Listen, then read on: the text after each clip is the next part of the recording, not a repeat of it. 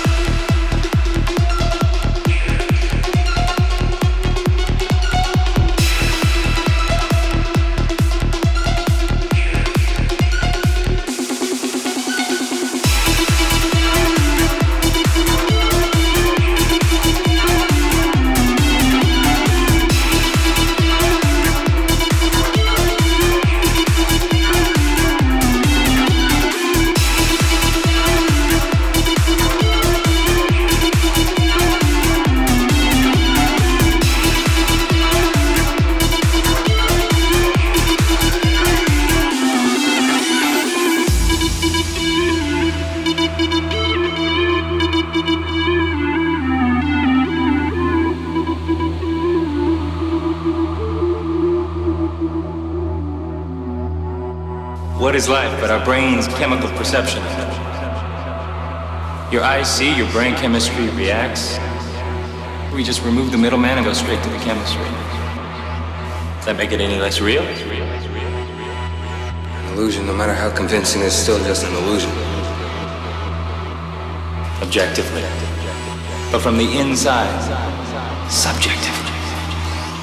I assure you, it's quite the opposite entirely.